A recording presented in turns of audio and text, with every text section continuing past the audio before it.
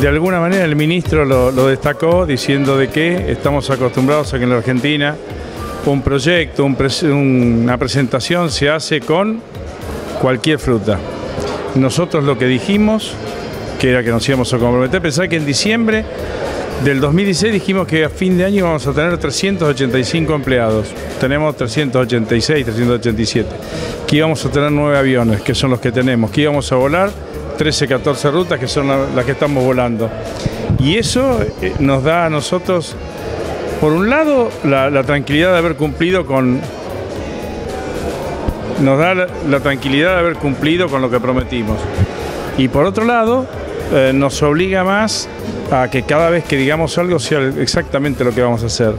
Lo nuestro no es planes, imaginación ni nada por el estilo, sino que es anunciar por anticipado los pasos que queremos dar. Y eso es lo que tratamos de, hacer en cada caso. Cuando uno vuelve a ver el video de aquella primera audiencia pública de la cual también Turismo Argentina fue partícipe, la cubrimos, ve que cada una de las cosas que han dicho han sido realidad, son hoy realidad. Sí, sí.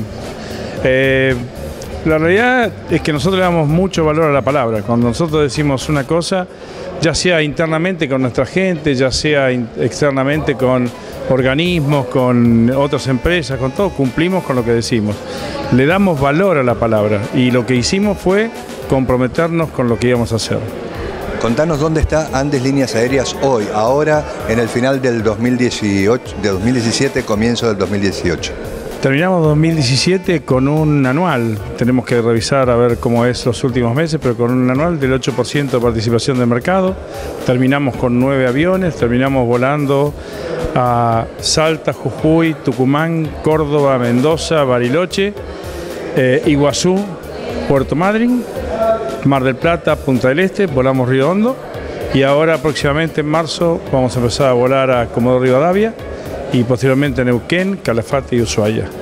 Eso nos va a poner en un porcentaje de mercado del orden del 12-14%. Eso es lo que queremos tener, estabilizar ahí y de ahí ver cómo hacemos para encarar una segunda etapa que tiene que ver con eh, saltar al tráfico regional, volar Montevideo, volar Asunción, volar Lima, volar Santa Cruz de Sierra, Santiago, etcétera.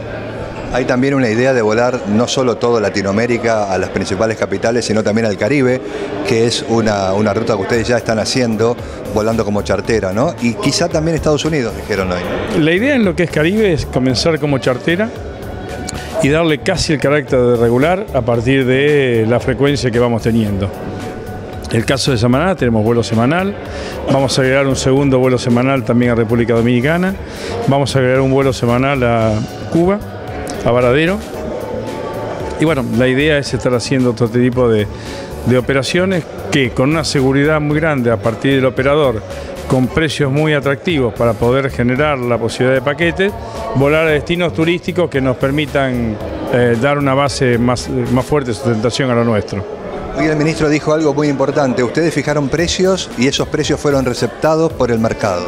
Eso se tradujo en una posibilidad más grande de volar. Nosotros, lejos de robarle tráfico a otras compañías, lo que hemos hecho es crear mercado, participar en la creación de mercado. El mercado creció como consecuencia de la, propuesta nuestra de menores tarifas, el ajuste de las tarifas por parte de las líneas, de Austral y de LANA. Y eso hace que también argumentos de, low cost, etcétera, que podían llegar a tener, ya están implementados. Ya hoy el mercado ofrece tarifas muy ventajosas. Cerramos con esto. Son la tercera compañía aérea que vuela en toda la Argentina, por decirlo de alguna manera, definido por el ministro de Turismo eh, de, Transporte Dietrich. Y ustedes son quizá la punta de lanza de lo que es la revolución de los aviones. Eh, nosotros, en realidad, es eh, cuando Miguel tuvo la primera reunión con Dietrich, el planteo que le hizo fue: déjennos crecer. Para nosotros, la revolución más importante que se produjo es que nos dejaran crecer. Y en eso creo que tenemos la expertise y sabemos cómo hacerlo. Nuevos aviones en el 2018.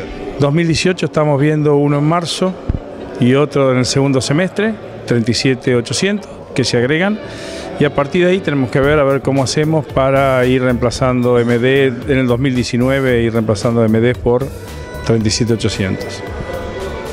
Después de la experiencia de Bruno Mars por Latinoamérica con los MD, podemos decir que los MD tienen tiempo para volar, ¿no? Cuerda para rato, depende que el fabricante le deje el espacio.